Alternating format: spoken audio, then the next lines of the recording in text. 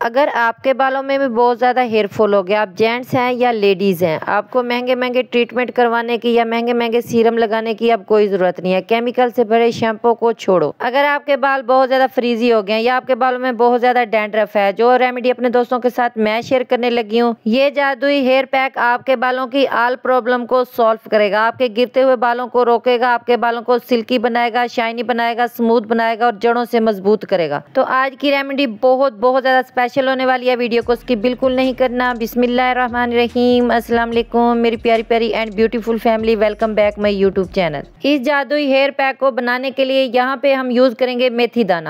میتھی دانہ بالوں کی آل پرابلم کو سولف کرنے میں کسی جادو سے کم نہیں ہے۔ میتھی دانے میں بھرپور مقدار میں وٹامن سی اور بھرپور مقدار میں پوٹیشیم پایا جاتا ہے، جو ہمارے بالوں کو مضبوط کرتا ہے، کمزور بالوں کو جاندار بناتا ہے اور پتلے بالوں کو موٹا کرتا ہے۔ سب سے پہلے آپ نے دو ٹیبل سپون میتھی دانہ لینا ہے، اچھی طرح صاف کر کے ایک کپ پانی میں پوری رات کے لیے آپ نے بھگو دینا ہے۔ میں نے اسے رات کو بھگو دیا تھا تو آپ دیکھ سکتے ہیں یہ پھول کے ڈبل ہو گیا ہے۔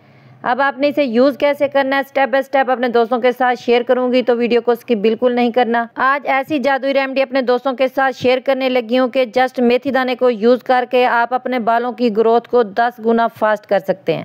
سب سے پہلے آپ نے کسی بھی سٹینر کی مدد سے میتھی دانے کو اچھی طرح سے سٹرین کر لینا ہے۔ کچھ میرے پیارے پیارے فرینڈس بہت زیادہ مصروف ہوتے ہیں، ان کے پاس اتنا ٹائم نہیں ہوتا کہ وہ ہیئر پیک لگائیں یا دو سے تین گھنٹے ویٹ کریں، تو ان کے لیے بھی ایک بہت زبردست ٹپس شیئر کروں گی آج۔ اگر آپ کے پاس ہیئر پیک لگانے کا ٹائم نہیں ہے، تو آپ نے رات کو میتھی دانے کو پانی میں بھگو کے چھوڑ دینا، صبح اسے سٹرین کر کے اسی پانی میں اپنا فیوریٹ شیمپو ایڈ کر کے آپ نے اس پانی سے اپنے بالوں کو واش کرنا ہے۔ یہ ریمڈی آپ کے گرتے ہوئے بالوں کو روکے گی، آپ کے بالوں کو جڑوں سے مضبوط کرے گی ڈینڈرف کا خاتمہ کرے گی، بالوں کو سلکی شائنی بنائے گی۔ اس جادوئی شیمپو کو آپ ڈیلی بیسس پہ بھی یوز کر سکتے ہیں، جو ہمارے شیمپو مارکیٹ والے ہوتے ہیں، اس میں کافی زیادہ ہارش کیمیکل ہوتے ہیں، جو ہمارے بالوں کو بہت زیادہ ڈیمیج کرتے ہیں۔ اگر آپ نے میرے بتائے گئے طریقے سے شیمپو کو ایک ویک تک ٹرائی کر لیا، تو آپ کو اس کے چوکا دینے والے رزلٹ ملیں گے۔ اب اپنے ہیئر ماسک بنانے کے لیے سب سے پہلے فریش ایلو ویرا لینا ہے۔ ایلو ویرا ہمارے بالوں کو سموتھ بناتا ہے، سلکی بناتا ہے، شائنی بناتا ہے اور ہمارے بالوں کی گروتھ کو بہت زیادہ فاسٹ کر دیتا ہے۔ یہ ہمارے گرتے ہوئے بالوں کو روکتا ہے اور ہمارے بالوں کو جڑوں سے مضبوط کرتا ہے۔ اچھی طرح سے آپ نے اس کی جیل نکال لینی ہے۔ اگر آپ کے پاس فریش ایلو ویرا جیل نہیں ہے تو یہاں پہ آپ مارکیٹی والا ایلو ویرا بھی یوز کر سکتے ہیں۔